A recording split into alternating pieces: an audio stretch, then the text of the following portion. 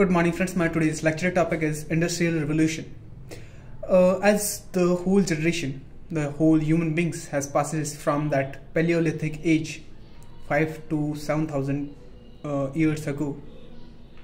From there we have seen the usage of the tools that were made because made by the rocks. Then the wheel was introduced. Then the iron was introduced and the tools were made of that iron Later, the industrial revolutions were introduced in the different countries such as Italy, Russia, Europe, French, France, etc. Then that time the first revolution was started in which the steam engine was used. Later in the second revolution of industrial, the usage of the conveyor belts and the round, round material was used. Then in the industrial revolution third, uh, in which the heavy machineries and the basic computers were used and currently the fourth industrial revolution in which the AI, the fast internet services, the super fast computers are being used. This is called the industrial revolution.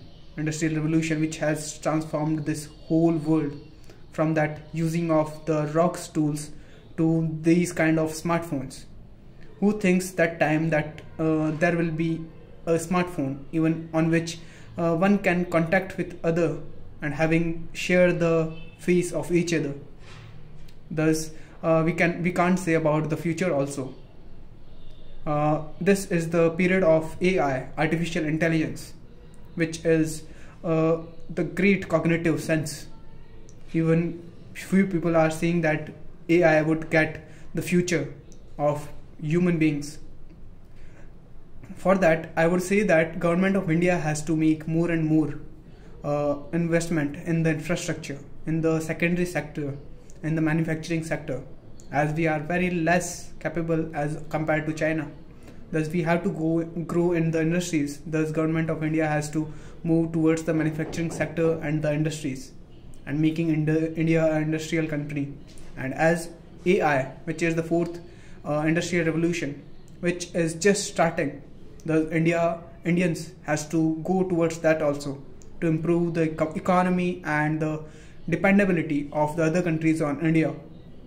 Thus, at last, I would like to conclude my lecture by saying that the the industrial revolution has changing this whole world's order from making the tools of rocks to using the AI, the fast internet speed that has uh, make the productivity more and making less the time efforts and the physical efforts of humans.